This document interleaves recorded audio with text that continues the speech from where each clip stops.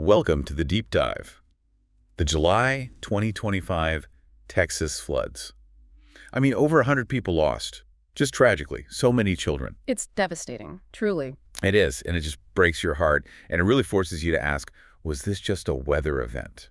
A so-called natural disaster? Right, because that term, natural disaster, it can be misleading, can't it? Exactly. Many geographers really push back on it. Mhm. And that's what we want to dig into today, this idea that you know, maybe there's no such thing.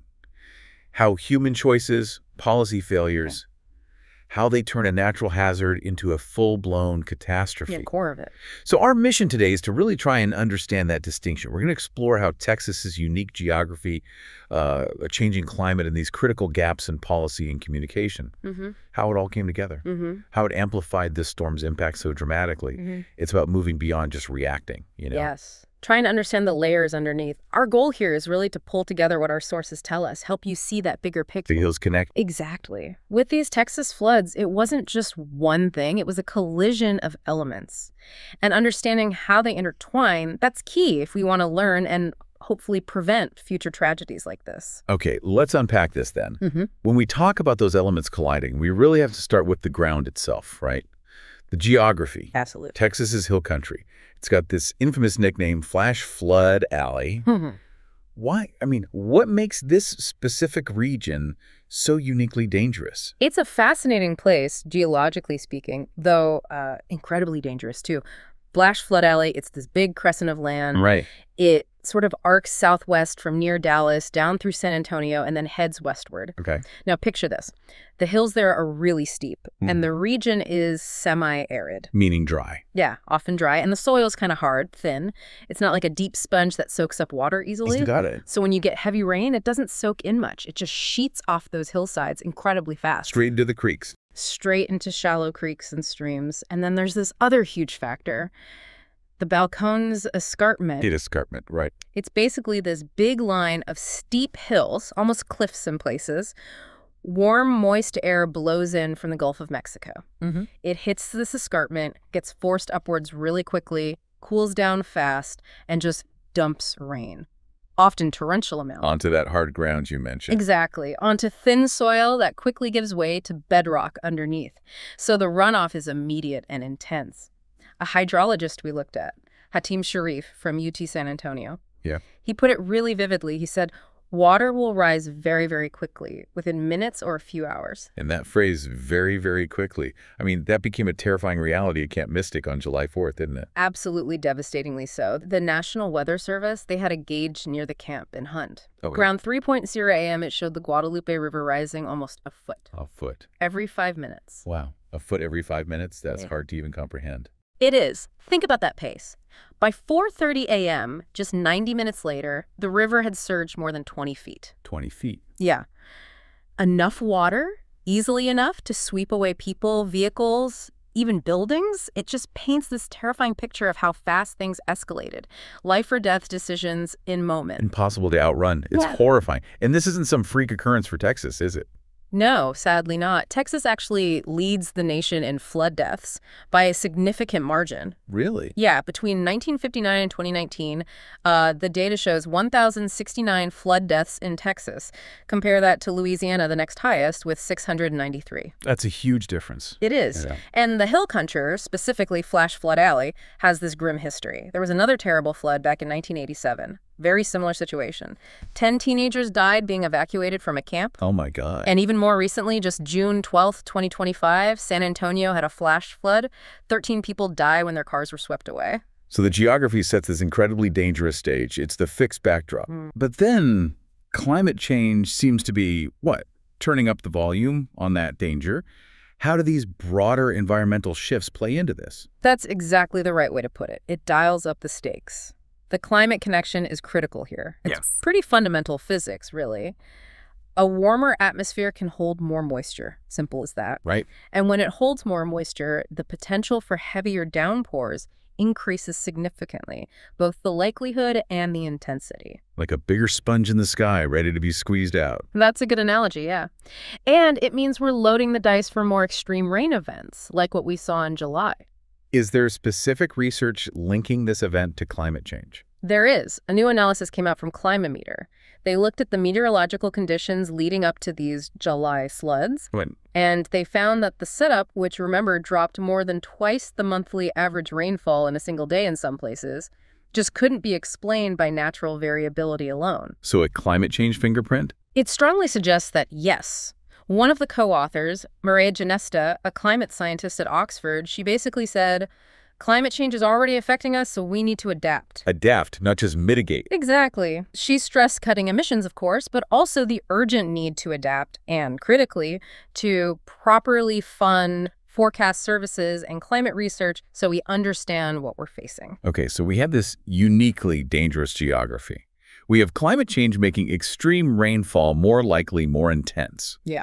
But you always remind us, and the sources bear this out, it's often human choices that really elevate the risk, right? That turn the hazard into the tragedy. Precisely. Was there one single biggest human factor here, or is it like a whole web of things? It's definitely a web. But a really major thread, one that climate scientist Daniel Swain pointed out quite forcefully, was what he called the last mile failure. The last mile, meaning getting the warning out. Exactly. Forecast and warning dissemination. The National Weather Service, they actually did issue an urgent warning for that July 4th flood.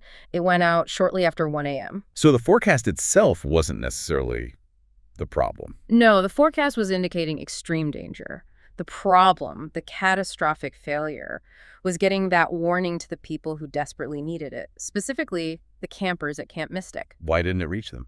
Multiple reasons. Most were asleep, obviously. Camp rules often ban phones, or kids don't have them. Cell coverage in that part of the hill country is notoriously patchy anyway. Right. And even if they got a warning trying to figure out escape routes, judge the water in the pitch black of night, it's incredibly difficult and dangerous. So the warning existed, but it hit a wall. It never reached the end users. That's the last mile failure. And when you dig into why that last mile failed, I mean, it reveals this really troubling, long-running situation right there in Kerr County where the camps are.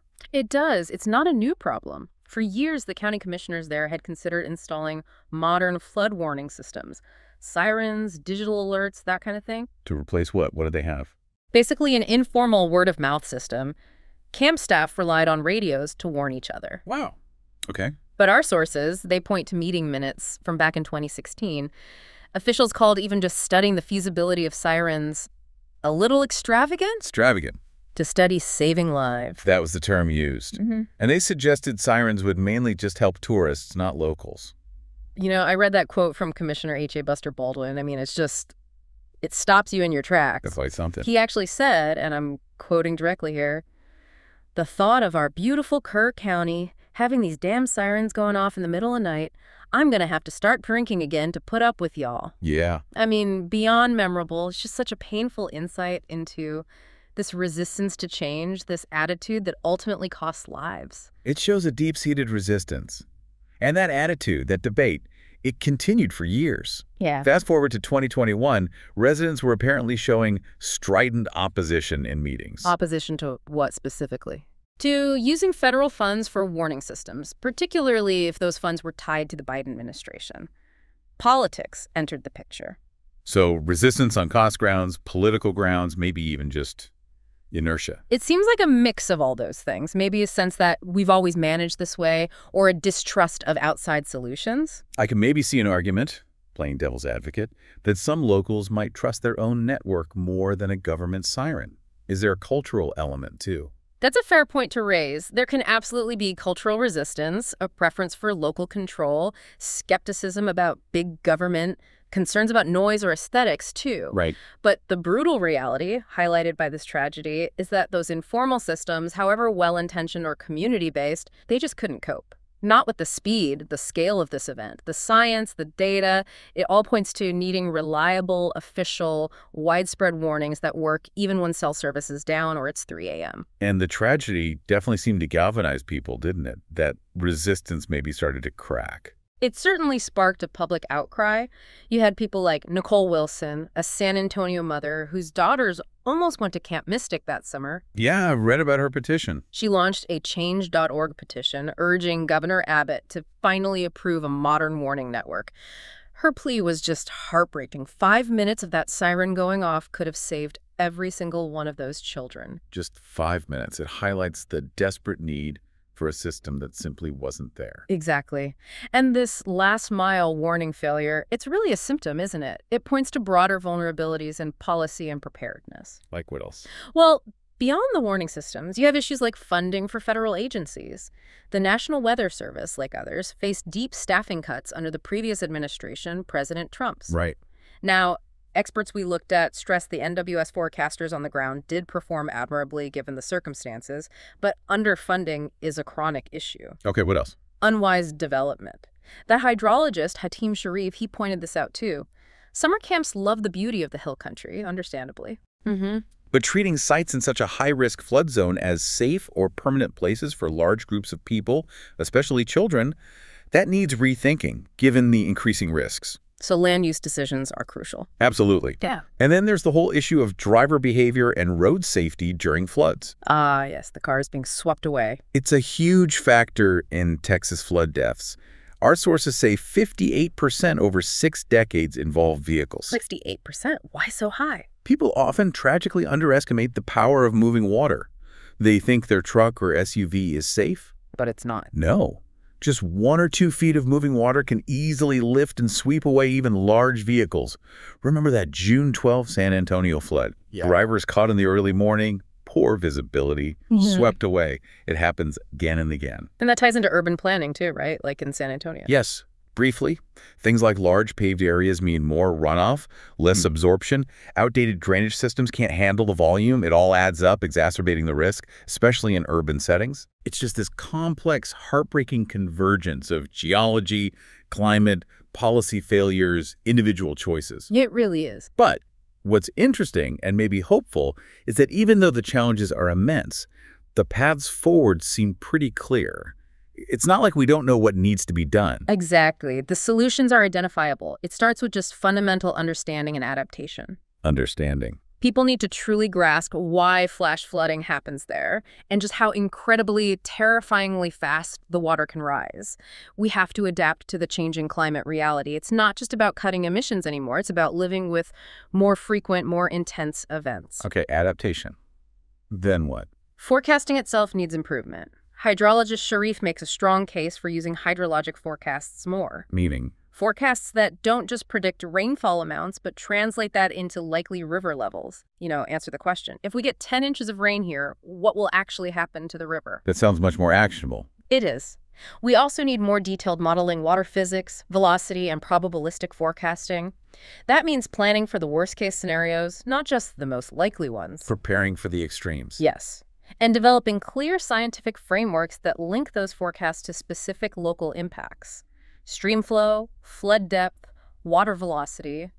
Information that actually helps officials make timely calls on evacuations or road closures. And educating the public, especially drivers. Absolutely critical. That 58% vehicle death statistic, it tells you everything. People need constant reminders. Turn around, don't drown. It sounds simple, but it saves lives. And officials taking action, like closing roads. Yes. Officials need to be more proactive about barricading roads when flood risk is high, prevent people from driving into danger in the first place, and of course, investing in those modern, robust, multi layered warning networks. That warning network point really hits home after hearing about Kerr County. It's about getting people the information they need when they need it through multiple channels. Sirens, digital alerts, opt in systems, ensuring it reaches everyone. It really does make you question assumptions, doesn't it? About what preparedness looks like instead of just sticking with how we've always done it. This whole deep dive into the Texas floods, it's such a tragic, stark illustration. Geography, climate change, human policy failures, all colliding. Right. And if you connect that to the bigger picture, it really hammers home why just calling these things natural disasters can be so inadequate. It often masks the human element, the points where intervention was possible. And understanding those layers, those points of failure and potential intervention, that's where you, the listener, gain some agency, some mm-hmm. power. It lets you see the levers for change, mm. the areas where we can and should demand better planning, better policies, better warnings. It moves us beyond just feeling helpless. Absolutely. It encourages informed action. So, thinking about all this, It does raise an important question, doesn't it, for you listening right now? Given everything we've unpacked about the Texas floods, the geography, the climate, the human systems, what's one thing you might reevaluate? maybe about flood risk in your own community, or even just how you interpret news about disasters going forward. What's one assumption you might question? Exactly. And is there some action, even a small one, you can maybe explore? Learning more, talking to local officials, checking your own preparedness, something to contribute to better understanding and safety where you are. It's definitely something to think about.